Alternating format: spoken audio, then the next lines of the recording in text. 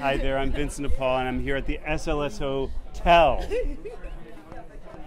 And we absolutely love these sunglasses that, you know, we shimmied on back here. Everyone's been wearing them, and we had to follow the trail. We had to because Kahoy, right? Look at these. These are so cool. In fact, I saw Liz had these on. I had to come back and find out where she got them from. I know, the exact pair. We were we were adamant about It was that. the exact pair. So, so personally, let me tell you why I like these. Editorially, this tortoise shell is really nice. These are lightweight. I love this shoe. What we're seeing in fashion a lot is that contrasting colors. You have the tortoise shell, and then you have the beige, and when you put them on,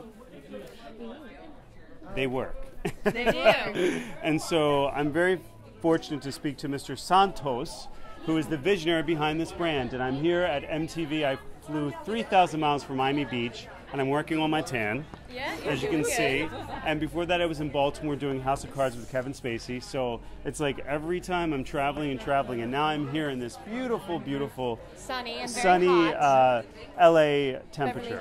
So thank you, Joyce, for uh, for talking to us about this brand. I'm really excited to know about this. So always love to hear your take because you've been around fashion for so many yes. years. And we're just talking not about any fashion, but we're talking like Versace, right? New York, London, Paris. you are. yeah, so so when I looked at these at first, I said, "Oh my gosh, this is a very like 1960s Wayfarer Ray Ban kind of esque type frame." And then I looked further, and I was like, "Wow, these contrasting colors really work." And so each designer that comes up with these these styles, it's their interpretation of the trends, and I love this trend. Yes.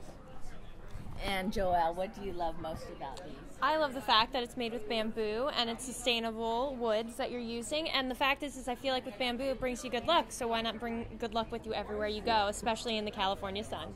And for me, it's awesome that it's eco-friendly because I really believe in conserving and trying to save the planet and try not to destroy, but to give back. And so that's why I like it. Well, I've just been a fan of this brand since the first time I ever laid my eyes on it. Not only is it because it's bamboo and sustainable, but they're just really, just Fun. really cool and fun. Yeah.